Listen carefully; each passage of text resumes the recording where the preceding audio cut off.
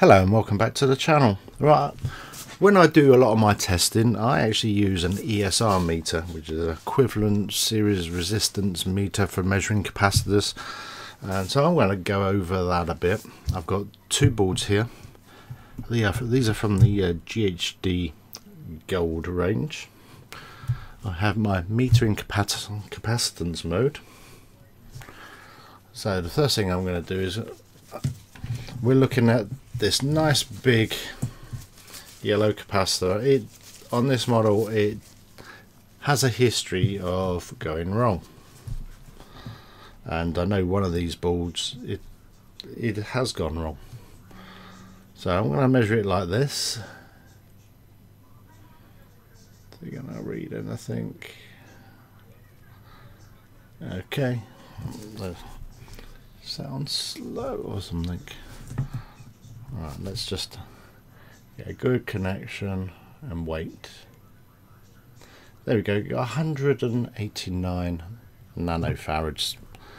I do know you're not meant to measure these in circuit, but we're just we are going to do that in a minute.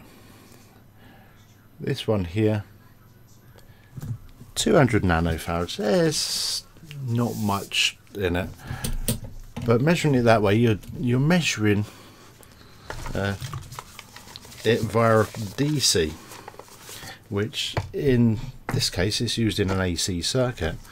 This is why I do use a uh, ESR meter. It's the one I use. It's a Peak Atlas ESR 70 Plus.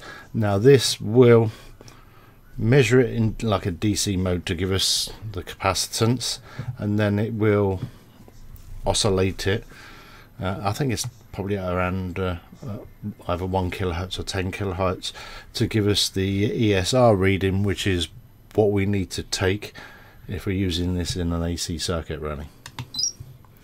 So I'm going to switch this on. At the moment, I don't know which one's bad, but this will tell me. Okay, uh, saying open circuit or low capacitance. What's this one?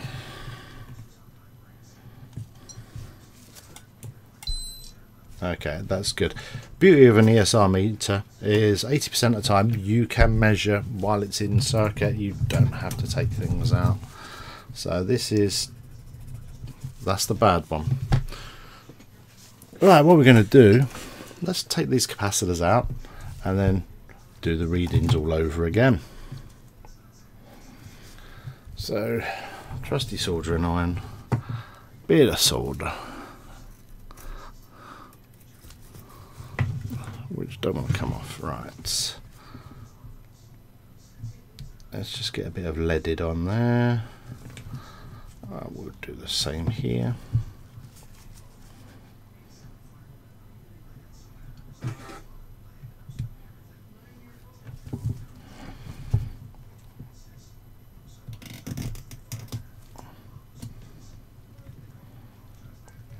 On, come on.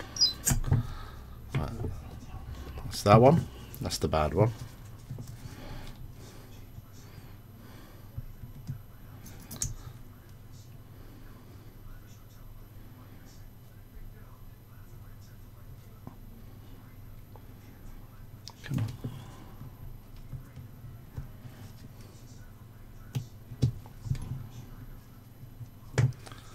There's the good one. Right, so we've got two capacitors they're out of circuit. This one, our peak said was bad. This one, our peak says was good, so let's do a test again.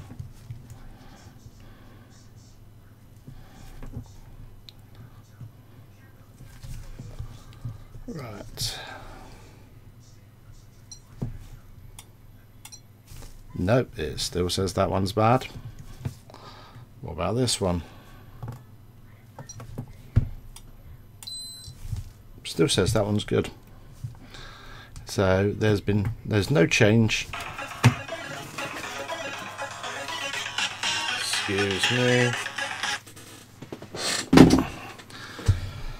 So there's no change on that.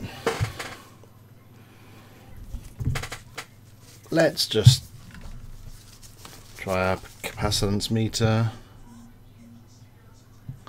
This is the bad one. 190, actually not far off of measuring it in circuit. And a good one. 201. Again, not far off measuring it in circuit, which had, did surprise me a, a bit. So as you saw, measuring it with a capacitance meter, I couldn't really tell which was good or bad.